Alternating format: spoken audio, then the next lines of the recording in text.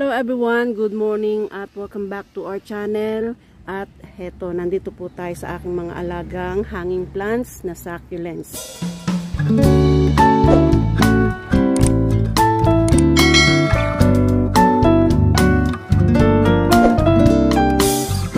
Ito nga po yung aking kauna-unahan na pag-aalaga ng donkey's tail. At ayan nga po, sobrang haba na niya. Ayan o. Oh. So, dito po nakapagpalago na ako ng maraming donkey's tail at heto na nga po yung unang-una kong propagation ng donkey's tail mula dito sa aking mother plant na to. Ayan nga po at medyo mahaba na rin po ito at ayan pa. Ito na po yung mga sumunod na pagpapropagate ko. Ayan, medyo lumalago na rin po sila at Ayan, napakalusog po nila. Ang tataba. Oh.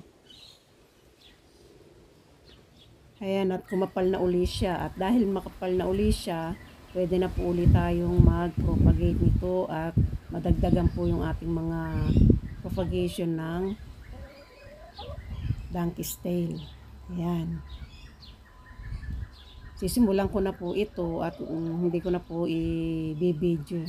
Ayan, nabawasan ko na po at ayan, lalagyan po natin to ng fertilizer. Yung slow release na fertilizer. Ito po yung aking ilalagay sa kanya na fertilizer, Osmocote. Ayan.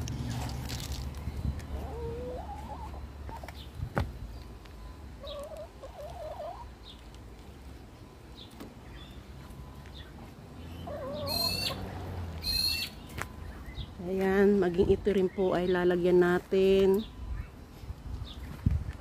Ito rin po.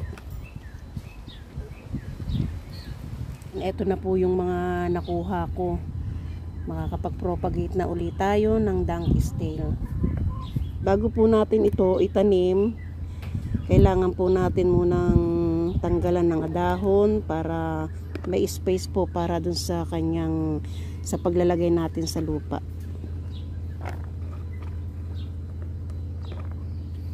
So ngayon nga po ay itatanim ko na ito po ay napatuyo ko ng dalawang araw. Ayan. Ito na po at atin ng itanim.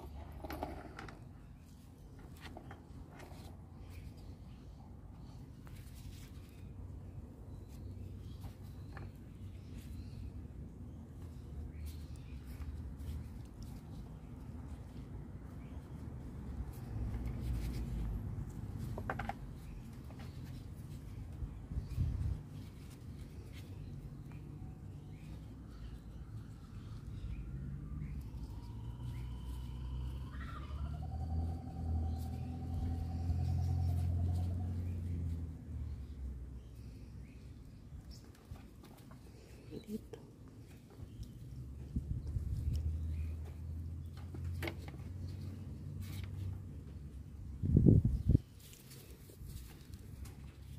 So, ayan na nga po at nakatanim na itong mga pinutol nating mga donkey's tail at pati itong mga leaves na nalaga sa kanya o yung tinanggal ko sa kanyang tangkay ay itatanim rin po natin.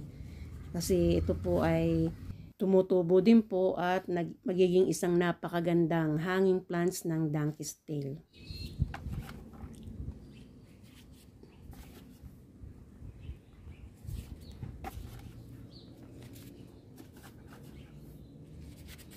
Ayan.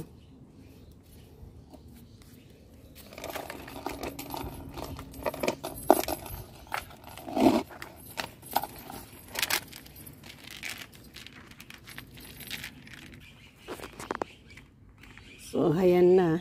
Pwede na natin tong isabit. So, ayan, meron pa po tayong isang itatanim. Yan, ubusin po natin tong mga stem ng donkey tail na pinutol po natin do sa mga sa mother plants po. Ayan.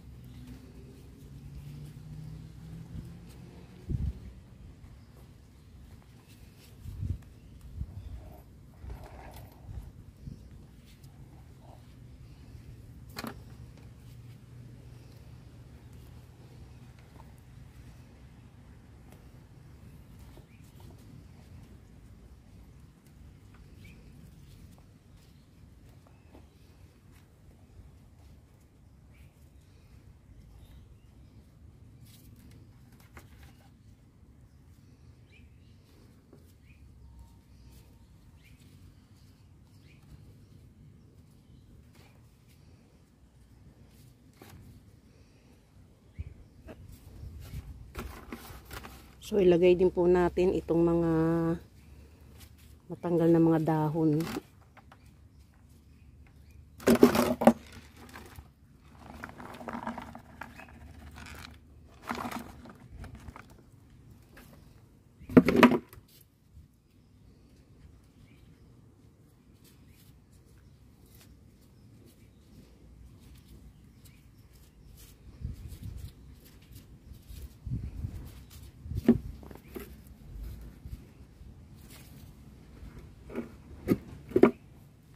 So, ayan, nakadalawang propagation po tayo ng donkey's tail. Buhat po dun sa aking donkey's tail na mother plant.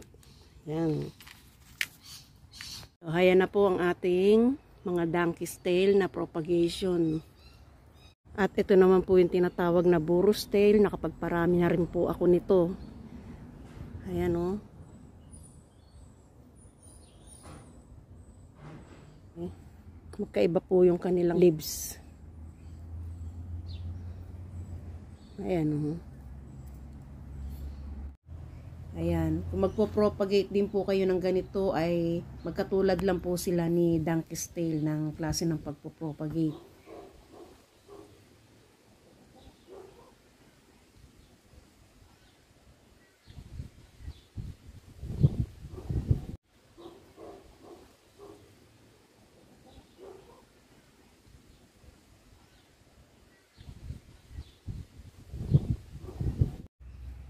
Ito naman po ay nakalagay sa jar. Ayan.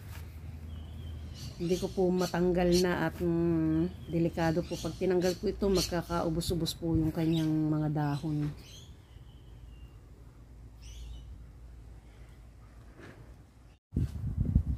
At ito naman po yung aking string of hairs.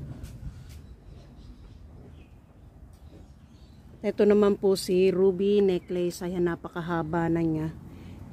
Pag ito po ay stress na stress, ito po ay nagpa-purple. At ito naman po yung ating string of heart. Variegated po siya. Ayan. Ayan, at nakapag-propagate na rin po ako ng mga string of heart. Pinaparami ko po sila para maganda pong tingnan ito. Mahaba rin siya. Ayan. Napakarami na nila, oh.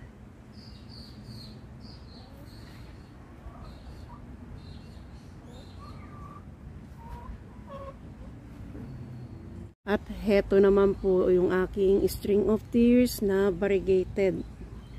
Ayan, oh. Ayan. Gumaganda na po siya. Kaka, ano ko lang po nito, kaka-propagate ko pa lang. Ayan na nga at medyo humahaba humahaba-haba na siya.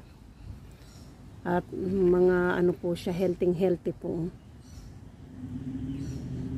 Ayan, yung mother plants po niya ay nandun sa kabila. At heto naman po si rat tail. Ayan o. Oh.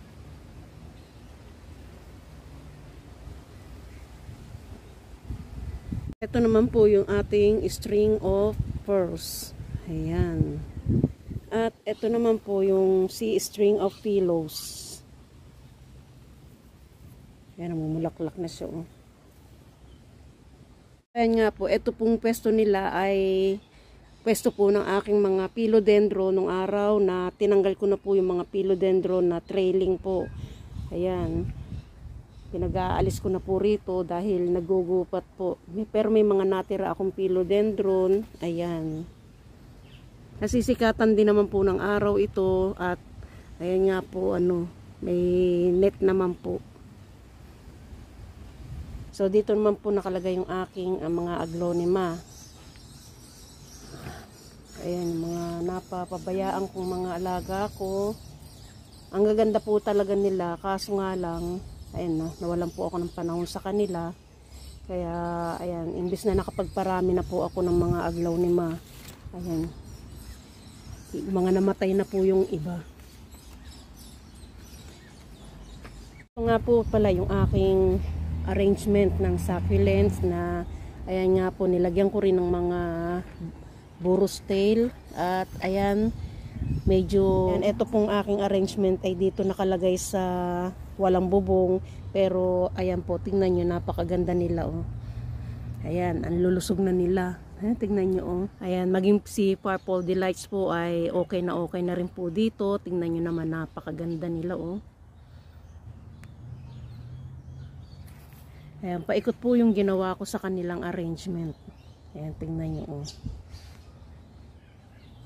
Para sa susunod po, ito pong Siburus tail ay lalawit na ng ganyan. Maganda pong tingnan. So, ayan, thank you for watching guys and see you on my next video. Bye!